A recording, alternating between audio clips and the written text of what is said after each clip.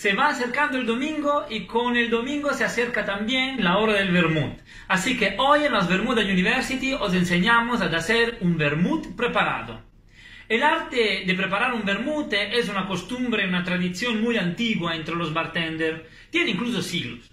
Así que hoy os vamos a proponer una receta que podéis realizar muy fácilmente en casa.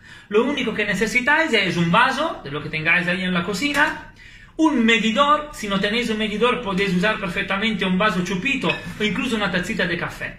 Y le vamos a añadir una parte de ron. En este caso, un delicioso ron añejo, le vamos a añadir también una parte de Campari, la misma, la misma parte, y luego le vamos a añadir unos golpes de angostura bitter. Ahora es cuando le vamos a añadir hielo, llenamos el vaso de hielo y lo completamos con el vermut. En este caso usamos el Cónsul de las Bermudas, un delicioso vermut que podéis encontrar online también. Llenamos el vaso y nuestro vermut preparado está casi listo. Casi listo porque le falta la decoración. Una naranja y por supuesto la oliva del vermut.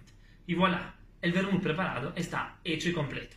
Podéis personalizar vuestro vermut preparado cambiando el ron con el gin, por ejemplo, con el whisky, cambiando el Campari con otro amaro, como por ejemplo el amaro de angostura, o también con el Fernet, para lo más atrevido.